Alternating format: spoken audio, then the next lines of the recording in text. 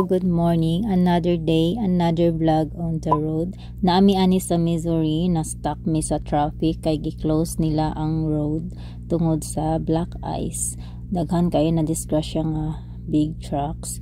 Then, thank God, dili mi mag-worry pag ma-stuck mi sa traffic kay naami sariling pagkaon magluto day ko og bacon para sa ako ang breakfast. Si Habi wala na siya naga breakfast ang iyang ginainom is coffee lang. Uh, Bullifrog coffee niya. So muna nilang ko magluto og bacon. Sa air fryer na ko siya ginaluto kay dali ra kaayo. Then magluto po day ko og um, egg. Pag human ako og luto sa bacon diya na ko iluto ang egg sa ako ang gilutuan sa bacon kay na siya oil naga-oil man ang bacon so dito na lang nakupod giluto ang egg. Yes pwede ang egg sa air fryer basta imuha lang siyang bantayan.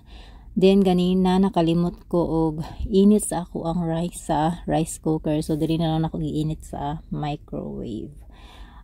Og yeah rice is life pagbuntag. Then diri na lang pud ko nag-init og tubig sa amo ang um, coffee maker ni Habi. Og Yes, finally naluto ng ako ang breakfast. Ingani lang kasimple lang ako ang breakfast sa road. Then ang traffic, maulang gyapon, close ra gyapon ang dalan. Then timpla na ko og kape kay okay ready na pod ang ako ang ininit. So mga unata guys, let's eat.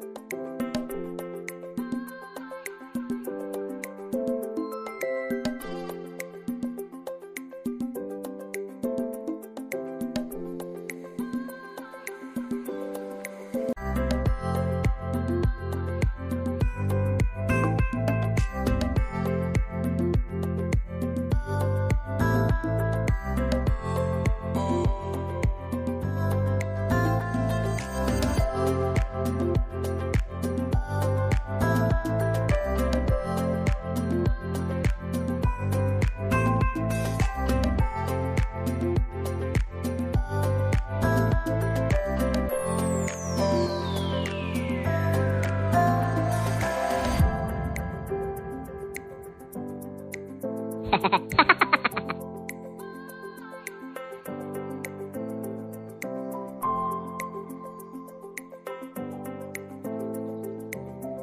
ha.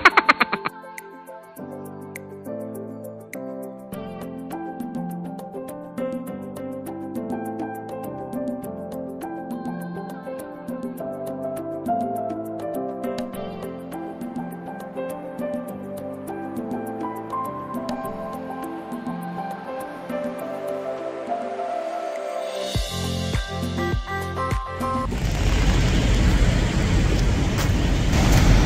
kadamlog.